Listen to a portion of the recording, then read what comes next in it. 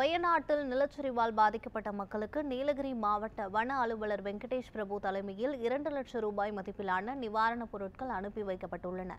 இது குறித்த கூடுதல் தகவல்களை நமது செய்தியாளர் பிரபுவிடம் கேட்கலாம். பிரபு இது பற்றிய முழுமையான விவரங்கள் என்ன சொல்லுங்க?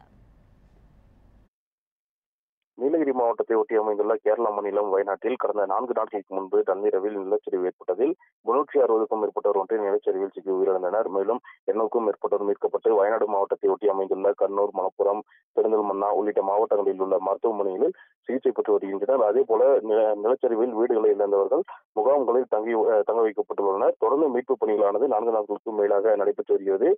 இதனிடையே பேரிடரில் பாதிக்கப்பட்டவர்களுக்கு நீலகிரி மாவட்டம் கூடலூர் வனக்கோட்டத்திற்குட்பட்ட மாவட்ட வன அலுவலர் வெங்கடேஷ் தலைமையில் கூடலூர் கோட்ட வனச்சரகத்தில் இணைந்து போர்வை கம்பளி காலணிகள் மற்றும் அத்தியாவசிய பொருட்கள் என இரண்டு லட்சத்திற்கும் அதிகமான நிவாரணப் பொருட்களை இரண்டு வாகனங்கள் மூலம் வயநாட்டிற்கு கொண்டு அனுப்பி வைக்கப்பட்டது. மேலும் பேரிடரால் பாதிக்கப்பட்டவர்களுக்கு தொடர்ந்து நிவாரணப் பணிகளை வழங்க நடவடிக்கை மேற்கொள்ளப்படும் என மாவட்ட வன அலுவலர் வெங்கடேஷ் பிரபு தெரிவித்துள்ளார்.